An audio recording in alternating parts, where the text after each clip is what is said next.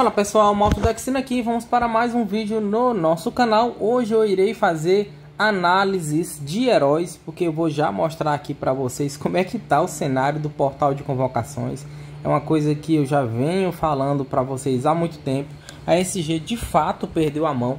É muita coisa para a gente tentar acompanhar e aqui antes eu queria mostrar para vocês aqui a performance da defesa do Kiran, né? Eu estou aqui ainda dando um, uns ajustes aqui na conta dele, que ele me pediu apoio, né? Porque enfim, ele está fazendo alguns exames médicos e está precisando de ajuda, então por esse motivo eu estou sempre aqui utilizando a conta dele para fazer as análises no tablet, porque normalmente é onde eu faço os vídeos para vocês, beleza? Observem aqui três portais de convocações distintos. Né? Nós temos aqui o portal do Pacto que iniciou ontem, certo? Nós temos aqui também o portal dos Elfos Astrais que começou hoje juntamente com o portal aqui super elemental, que desta vez são heróis verdes que estarão aqui à disposição de possíveis convocações, beleza? Gente, eu gostaria de agradecer a sua presença aqui no canal, pedir para você deixar um like para fazer com que esse vídeo possa assim chegar a mais pessoas que tenham interesse nesse perfil de conteúdo. Se prepara aí que o vídeo já vai começar.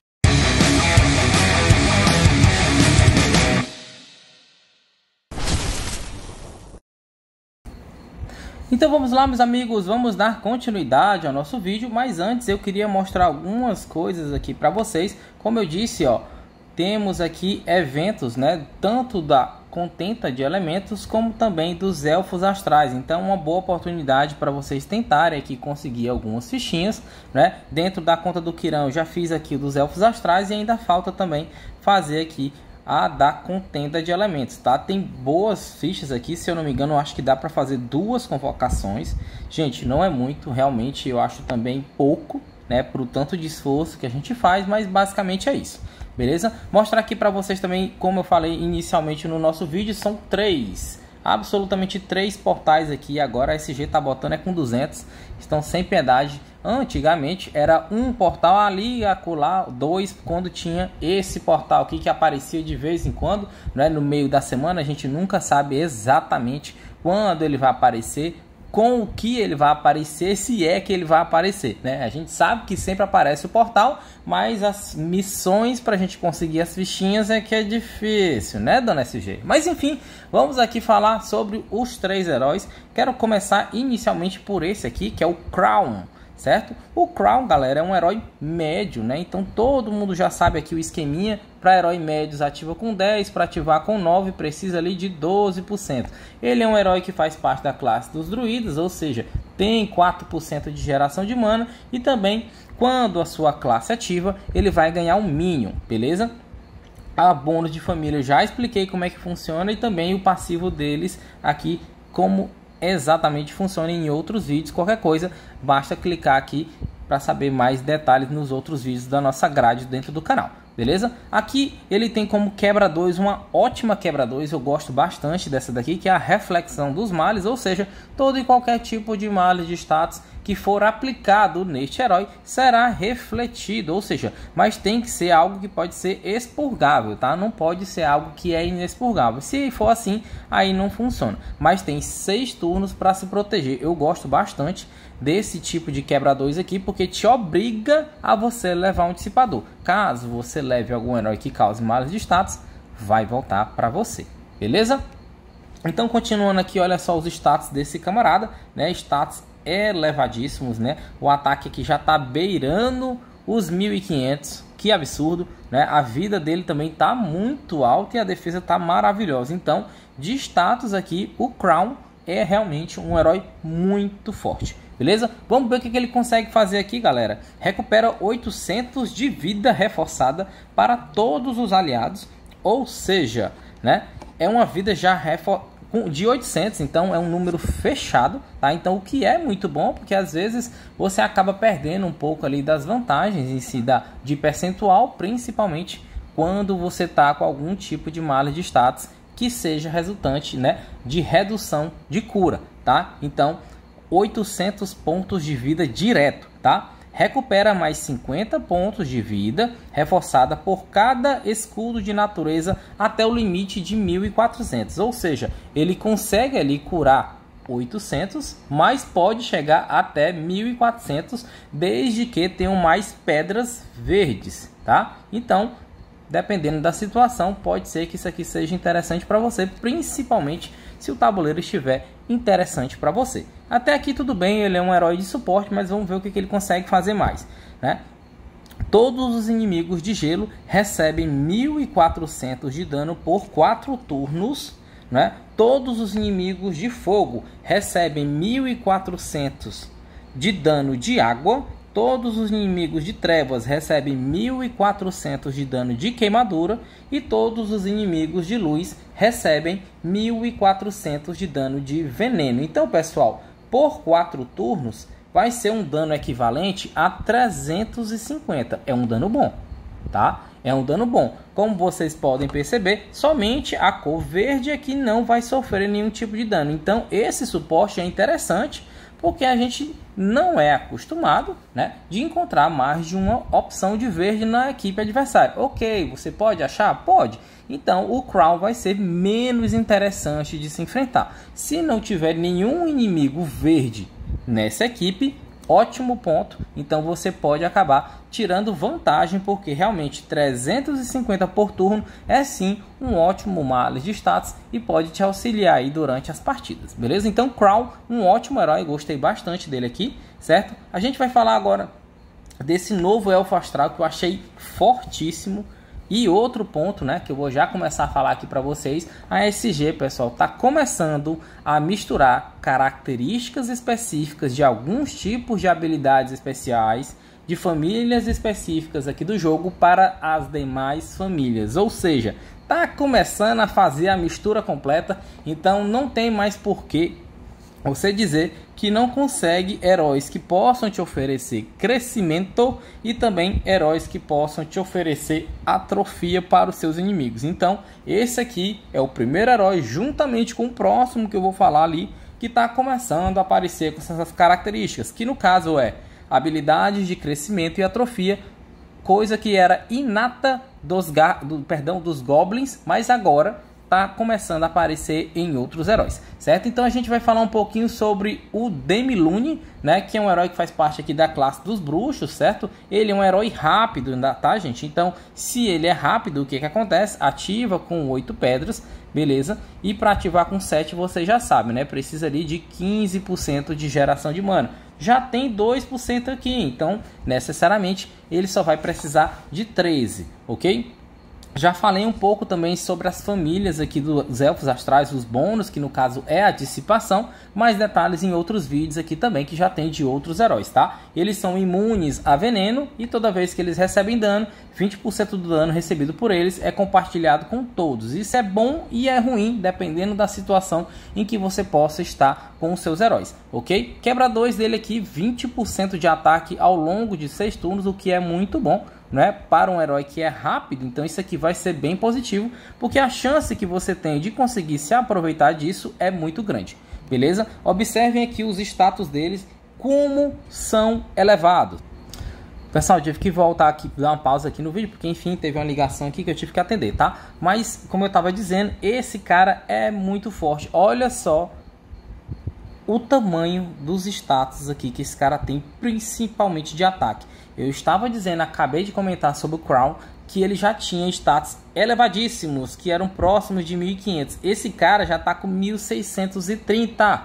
Então, sim, é um herói muito forte. Esse com certeza vai desequilibrar muito, tá? E eu espero que a SG não tenha de fato começado a perder a mão demais. Eu acho que ela já está assim, tá? Mas enfim, vamos continuar aqui, né? Continuando a análise desse camarada, que é o Demilune certo? Esse, como eu disse, é rápido, então ele te, eles têm a característica de não errar, ou seja, a cegueira não funciona contra eles.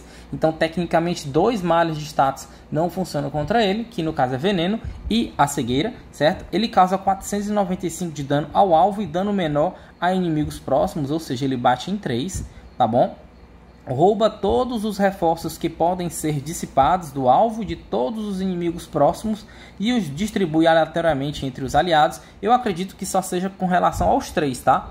eu acho que não vai querer dizer de todos, né? Como ele diz aqui. Basicamente, ele diz uma explicação aqui nesse pequeno trecho e aqui ele diz outro, né? Quando ele se refere a todos os inimigos próximos, dá a entender pra gente que como se fosse todos, né? Os cinco, mas eu acredito que só sejam esses três aqui do mesmo jeito. Onde ele bateu é onde ele vai poder roubar os reforços beleza? Que sejam dissipáveis. Aí no final aqui, como eu disse, crescimento. O invocador e os aliados próximos recebem 340 de ataque, tá? Então isso aqui é muito forte, tá? Vai ser difícil de enfrentar isso, com certeza, porque assim, com mais que ele tenha uma defesa um pouco mais abaixo, mas pessoal, é 1400. Se você tem uma tropa de bruxo, você vai deixar esse cara ainda mais forte porque a característica da tropa bruxa é o que? Dá 7% a mais de ataque para a habilidade especial, que já é alta, quase 500%. Então, ele tem chance aí de ser um grande finalizador de três alvos, tá? Principalmente se ele bater em cima de uma possível redução de defesa elemental ou defesa normal, mas se ele não matar, ele com certeza vai roubar os reforços, vai tirar a vantagem da defesa e com certeza vai colaborar para as possibilidades dos seus ataques. Com certeza esse cara é muito forte, muito forte mesmo e vai sim causar um grande desequilíbrio aqui no meta. Pode esperar, beleza? E agora a gente vai falar um pouco mais sobre as opções do pacto, né? Sempre tem ótimas opções, então como vocês podem ver, esse cara que apareceu aí, que é o Lemonwood, ele é muito bom, tá? As corujas como um todo ganharam melhorias agora com o passivo, que eles praticamente aniquilaram todo e qualquer tipo de herói que possa vir dar mana direto, né? Para os alvos, em especial a Náutica, né? A Náutica praticamente está morta, nas defesas. Se o cara tiver uma coruja, ela só vai ser um herói que cura e nada mais. E a grande vantagem da Náutica era ela poder proporcionar a ativação dos seus aliados próximos de maneira mais rápida, né? Então isso acaba complicando um pouco, mas agora isso não funciona mais. Tem também aqui o Gastile, que é um excelente herói. Eu falei várias maravilhas desse cara quando ele apareceu. Tem a carta também que tem análise aqui no nosso canal e agora a gente vai falar desse novo herói aqui que apareceu disponível para gente não é que no caso é o Escória. Como eu disse para vocês anteriormente na análise aqui do, do Demi Lune, certo? Mais um herói, como vocês podem ver, que tem características inatas de habilidades que eram específicas dos Goblins. Mais um herói que vem para desequilibrar o meta e trazer muita coisa aqui nova nas defesas, beleza? Vamos começar a análise aqui do Escória, certo? Ele é um herói que também tem 20% de ataque, ok? Ele aqui é um lutador, um guerreiro, na verdade, que agora mudou a classe, né? Tem 2% e pode reviver, certo? E ele é médio, então se ele é médio, ativa com 10, para ativar com 9 precisa de 12%. Já tem 2 aqui, então tecnicamente 10% é o suficiente para ele ativar com 9 pedras, beleza? Aqui tem o passivo dele que é o núcleo corrosivo, que é igual ao do Ferros, né? Que é um outro herói aqui que faz parte também da família do pacto, né? Então o núcleo corrosivo, o que, que acontece aqui no caso dele? Ele vai sempre ficar causando dano de veneno né, nos inimigos e também vai ficar tirando a geração de mana. É bem chato realmente esse passivo aqui, beleza? Observem também que os status dele aqui estão muito fortes, ó. Mais um ataque aqui passando da casa dos 1500, né? Esse, essa defesa também está muito boa e a vida dele está absurda, pessoal. Ele está muito forte também, né? Status muito forte. Se tiver as tropas específicas, vai ficar ainda mais complicado. Como eu disse, os heróis estão ficando muito fora da realidade e aí tá realmente dividindo quem gasta e quem não gasta aqui dentro do jogo. Né? Enfim, feita a crítica aqui em cima da SG, vamos continuar a nossa análise falando que este camarada causa 420 de dano ao inimigo com mais pontos de vida, ou seja, ele vai bater em todos os inimigos 300%, mas especificamente naquele que tem mais vida, ou seja, provavelmente aquele que possa vir a te dar mais trabalho, né? Vai sofrer o dano de 420%. Então, um médio que pode ativar rápido, tecnicamente, né, entre aspas, aqui com 9 pedras, ok? Então, esse camarada aqui vai bater em todo mundo. Vai ser muito bom, por exemplo, para combinar com o Ray. Quem tem o Ray aí, deixa nos comentários. Esse camarada aqui faz o que? Dissipa os inimigos e reduz defesa elemental. Tá? Então, se você tiver 5 pedras, ativou o Ray, faz a dissipação. E se você tiver mais quatro pedras, ou seja, três movimentos de três, você consegue fazer isso tá? Ativa o Ray com 6 e depois faz mais 3 e ativa a escória. Com certeza vai ser um dano absurdo que você vai conseguir aplicar nos inimigos. E aqueles que sobrarem vivos, né? Desse dano que está por vir, com certeza você pode finalizar com outro herói que você venha a trazer para sua equipe, tá? Então realmente é um herói muito forte. Mas além disso, o que, que ele faz? Vamos lá. Os inimigo, o inimigo com mais pontos de vida é silenciado por 3 turnos né? Então ele ainda aplica também atrofia em todos os inimigos de menos 350, 350 de ataque. Então vamos lá. Bate mais forte no alvo que tem mais pontos de vida. Além disso, ele silencia este alvo. Bate 300% em todos os demais inimigos. E também aplica atrofia do ataque. Ou seja, tirar a sorte grande, você poderia pegar esse camarada. Porque além de ele bater muito forte, ele também vai coibir a possível ativação dos inimigos para vir te bater mais forte, porque se você reduz no status base do inimigo 350 pontos, 350 pontos, você de fato vai realmente diminuir o poder de fogo da equipe adversária. Então, diminui percentualmente as chances de você vir a ser derrotado pelas equipes, tá? Então, essa é a análise a respeito dos três heróis aqui, certo? três poderosos heróis que foram lançados aqui. Tá faltando mais um, certo? Que no caso é a Dolores, que apareceu na semana passada. Já tenho o vídeo dela onde ela está atuando. Eu já tenho o roteiro feito também. A minha amiga Beca pediu aqui para eu fazer um salve especial para você, Beca. Eu vou fazer o vídeo, tá? Mas vou deixar para fazer amanhã, porque hoje realmente foi uma segunda-feira bem corrida para mim e eu espero que você compreenda. Amanhã eu trago o vídeo para vocês, tá bom? Então vamos aqui fazer a, a, as convocações, né? Kiran me permitiu que eu pudesse fazer algumas convocações aqui com vocês, beleza? Então vamos tentar ver se a gente tira a sorte grande aqui para ajudar o meu colega. Não vou botar da propaganda, porque enfim, não faz sentido. Então ele me permitiu fazer um x10 aqui no pacto, beleza? Aqui vai ser um x10.